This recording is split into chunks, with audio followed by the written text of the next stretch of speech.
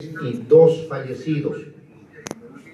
El reporte que recibimos de Carumas es de 588 heridos graves, 350 moderados, 6 leves y un fallecido.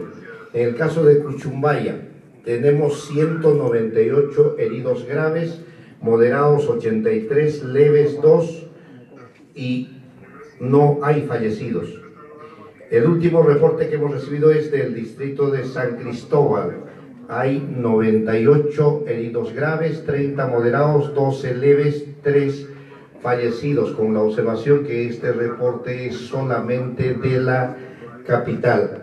Se nos indica también en el caso de eh, los reportes en cuanto a carreteras, ha colapsado la carretera Sijuaya-Muilaque, ha habido derrumbes en la carretera que se está ejecutando a China-Muilaque, no hay pase Asimismo, se está haciendo una evaluación en el caso de San Cristóbal, en el caso de Cuchumbaya, Carumas y Torata. Eh, igual no hemos recibido reportes a Megua en cuanto a viviendas colapsadas. No tenemos el informe todavía, pero sí nos indican que se está haciendo la evaluación para alcanzar la información correspondiente. De igual manera nos indican de que ha colapsado la carretera de Cuchumbaya a Zacuaya y Zacuaya a Carumas. No hay paz. Y acaban de llegarnos el informe al 70% de 580 viviendas colapsadas en toda la provincia. Ese sería el reporte eh, al 70% aproximadamente, señor presidente. Es el informe que ha realizado el alcalde de la Municipalidad Provincial de Mariscal Nieto.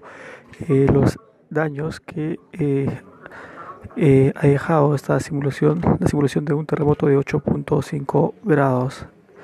Eh, esta reunión se desarrolla en la sede del gobierno regional de Moquegua con los integrantes de la plataforma, plataforma de defensa civil. En las galerías Balta y el mercado central, ubicado en la avenida Balta, se encuentra seriamente afectada, por lo que el Cuerpo General de Bomberos viene solicitando apoyo del voluntariado en emergencias y rehabilitación para evacuar a las personas que aún se encuentran atrapadas. Por el momento han sido evacuadas 15 personas con heridas punzocortantes. El siguiente mensaje es a través del Centro de Operaciones de Emergencia Regional que se pone a disposición de la plataforma de defensa civil y en este caso el equipo de rehabilitación y el equipo de respuesta para que en forma inmediata se dé respuesta y las acciones necesarias ante esta solicitud de la compañía de bomberos. Es el informe que ha realizado eh, el integrante de Defensa Civil del Gobierno Regional de Moquegua. Eh, en esta reunión está, eh, están eh, concentrados todas las eh, autoridades. Correspondiente a los mensajes distribuidos necesitamos que la mesa elija un vocero para hacer el reporte correspondiente de las acciones a implementarse. Bueno, entonces eh, en este momento se están eh, informando los reportes eh, los daños que ha dejado la simulación de un terremoto de 8.5 grados en todo el Perú. en estos momentos continúa reunidas las autoridades, vemos a eh, integrantes de defensa civil, compañía de bomberos, autoridades y funcionarios. En la mesa principal está el vicegobernador, el jefe regional de INDECI, el alcalde provincial de Mariscal Nieto, el prefecto regional de Moquegua, eh, el eh, gobernador regional, asimismo está un integrante de la Policía Nacional del Perú.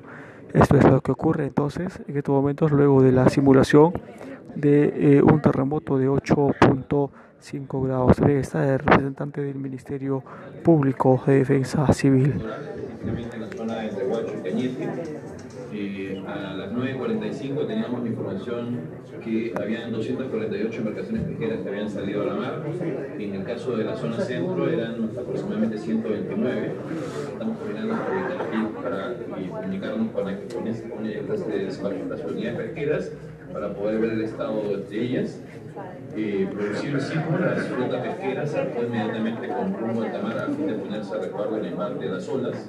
El local de Neymar tiene daños estructurales, consecuencia del impacto de la sola, está de Callao. Y eh, también ha habido problemas con los locales de las oficinas de Sanipés, Fontepés. Eh, ha habido un proceso de evacuación rápido de los pescadores y el público en general digamos, en relación con eh, todo el, tema del personal que está en la zona de fronteras y eh, fruto del sismo tsunami los pescadores artesanales salieron de la zona centro. Digamos, que han salido están actualmente como desaparecidos. Estamos eh,